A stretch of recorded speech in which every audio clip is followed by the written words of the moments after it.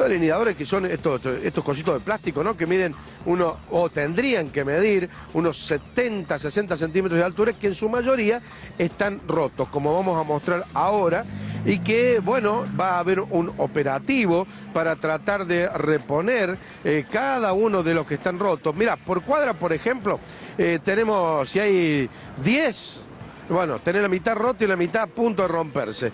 Eh, se dificulta mucho, bastante la situación a la hora de los colectivos, principalmente cuando tienen que hacer una maniobra para poder salir de las paradas y hay otro colectivo adelante. Y sí, lamentablemente no hay intención, obviamente, de pisarla en ningún momento, pero de todas formas son, eh, digamos, la brecha del lado del costado derecho, cuando se para un colectivo, se para otro, al abrirse, y no le queda otra chance que pisarlo, porque además tiene que controlar lo que suben, cerrar las puertas, mirar para atrás, mirar para adelante, y a veces, obviamente, preferible muchas veces pisar un delineador que no, o una moto, un peatón, siempre, obviamente, no cabe la menor duda, ¿no es cierto?, de esta situación, pero la cual ha hecho que las autoridades de la Municipalidad de Córdoba lleguen hasta este lugar, Está eh, Javier Vicellares en este momento muy cerquita nuestro, que ha venido y vamos a consultar precisamente cuándo van a empezar los trabajos en relación a este tema. Está hablando Javier Vicellares aquí en este lugar, que está haciendo algunas declaraciones, lo escuchamos Javier, ¿cómo le va? Buen día. Hola, Ariel, buen día. ¿Cómo, estás? ¿Bien? Bien, muy bien. Preocupado como todo, ¿no? Que, que, se rompen las cosas que son de todos.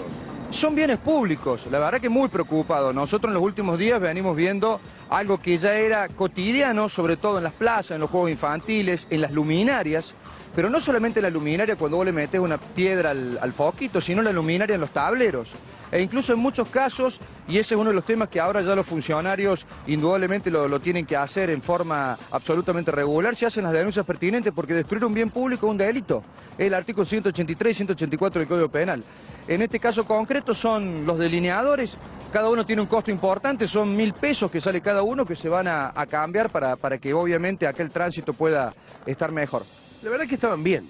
Quedan, además, son útiles por sobre todas las cosas para dividir. Pero digo, recién veíamos, por ejemplo, te para un colectivo, atrás para otro, después cuando sale el de atrás, se le dificulta, digo, lamentablemente muchas veces sin querer los deben pisar, más allá de la intencionalidad que uno no quiere pensar. No, uno no quiere pensar en la intencionalidad, lo que uno sí tiene claro, Ariel, es que, es que hay que manejar con más cuidado, en este caso concreto están fotografiadas dos, dos colectivos de las empresas que, pasan por arriba del, delineador, con lo cual se le ha labrado el acta, la multa correspondiente para que la paguen. Lo que me parece que hay que tener en claro es que esto es de todos, yo ponía el ejemplo también del hormigón de la Richer y vos has seguido de cerca todo lo que fue Richer y se empezó a hormigonar y aparece todo dibujado y con jeroglíficos y una serie de cosas. A ver, nosotros venimos viendo con mucha preocupación en los últimos días, meses, este avance de la destrucción de lo público. Yo te hablaba de las plazas, de las luminarias, te daba el ejemplo del hormigón de Richeri.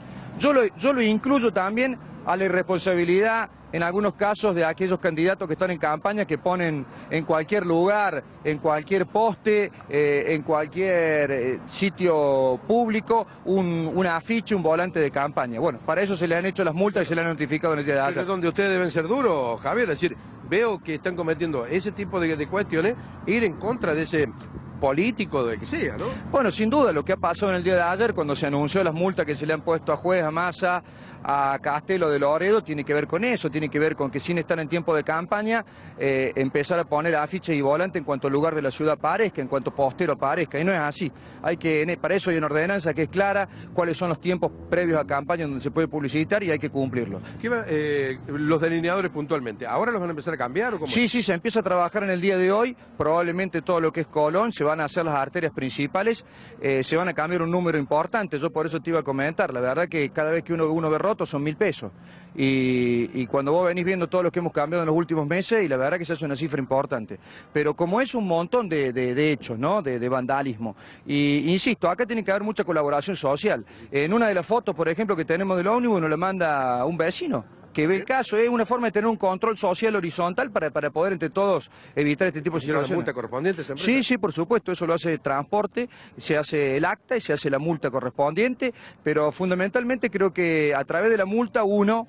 Eh, más que el fin recaudatorio, lo que busca es concientizar que haya noción de lo que es el bien público. Es entre todos, lo pagamos entre todos.